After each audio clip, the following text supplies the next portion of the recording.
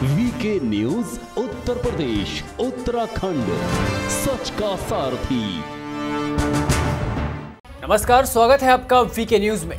Love जिहाद, land जिहाद, थूक जिहाद, धर्मांतरण, शादी का झांसा देना तो कभी सड़कों पर जबरन मजार बना लेना, कभी जिहाद के नाम पर गला रेत देना तो कभी अल्लाह अकबर के नारे लगाते हुए तलवारें चला देना। इन सब का मतलब समझ रहे हैं आप? ये एक सुनियोजित साजिश का हिस्सा है। एक ऐसी साजिश जिसने भारत को ही नहीं, पूरी दुनिया को अपनी चपेट में ले रखा है। और ये बात इस बार हम नहीं कह रहे। ये बात एक बड़े मुस्लिम नेता ने खुद कबूली है। यकीन ना हो तो एक एक शब्दों को ध्यान से सुन लीजिए। मैं पैदा ही वहीं हुआ अयोध्या, जो फैलाबाद है, जो आज अयोध्या कहा जाता है मैं मेरी ददियाल वहीं की। मेरा घर है। तो जो एक मिशन आपके खिलाफ चल रहा है, हिंदुओं के खिलाफ चल रहा है, लव जिहाद हो जिहाद हो, किताबी शक्ल में हो, आपको बदनाम करने के लिए, आपको कमज़ोर करने के लिए जितनी भी फंडिंग हो रही है, जितना भी किताबें लिखी जा रही हैं या आपके खिलाफ लव जिहाद हो रहा है, आपकी लड़कियों को मुसलमान बनाया जा रहा है, हिंदुओं को पैसे देकर मुसलमान बनाया जा रहा है, ये वो जिहाद है कि एक मुसलमान कोई गैर मुसलमान को अगर हिंदू बनाता है तो उसका जन्नत में घर पक्का हो जाता है। ये मुसलमान इस नियत से गैर मुसलमानों को झांसा देकर, फंसाकर मुसलमान इसलिए बनाते हैं, वो अपना जन्नत में घर पक्का करने की कोशिश करते हैं, जो कि गलत है, इनका वहम है, और वो उस रस, जिसको वो रसूल मानते मोहम्मद का ये बनाया हुआ षडयंत्र है। सुना आपने? गौर से एक एक शब्दों को सुना आपने? जनाब ने ज़ुबान से कट्टरपंथियों और जिहादियों के मुँह पर करारा तमाचा जड़ा है। किसी हिंदू नेता ने अगर ये बात कही होती तो मौलवियों की जमात सड़कों पर उतर चुकी होती। लिबरल्स ट्विटर पर हल्ला मचा रहे होते। विधवा विलाप शुरू हो चुका होता।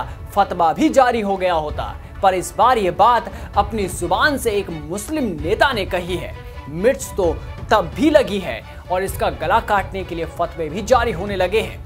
ये गुस्सा इसलिए भी है क्योंकि इस साजिश की पोल अपने ने ही खोली है, और सबूतों के साथ आपको बता दें कि वसीम रिजवी हैं। यूपी में रहते हैं, अयोध्या में पैदा हुए हैं। इन्होंने एक ऐसी किताब भी लिखी है जिसमें इस्लाम को एक साजिश बताया गया है, और वो भी पूरे सबूतों के साथ। इस किताब के लॉन्च के मौके पर वसीम रिजवी ने वे सारी साजिशों का पर्दाफाश किया है कि कैसे इस्लाम के नाम पर जिहाद फैलाया जा रहा है।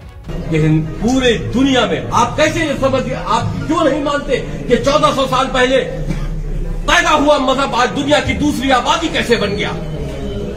आप सोचिए ना, क्यों? उसमें एक साजिश है। वो साजिश के तहत जो काम किया जाता है, वो बहुत तेज़ी से अपनी जड़ों को मज़बूत करता है।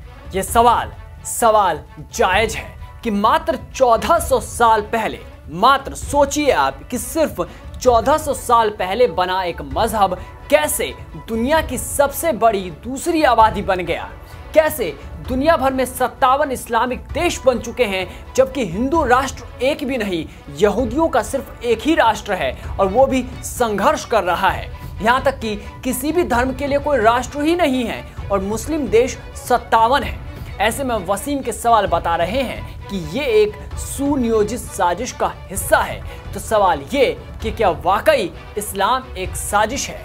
बड़े बड़े मजहबी, मौलवियों और आलिमों को इसका जवाब अब देना चाहिए। इस वीडियो में बस इतना ही। देश और दुनिया की तमाम बड़ी खबरों से जुड़े रहने के लिए बने रहिए वीके न्यूज़ के साथ। नमस्कार। ये है ड्रीम मीडिया नेटवर्क और आप देख रहे हैं देश का पहला 24 four by seven digital news channel VK news राष्ट्र के नाम।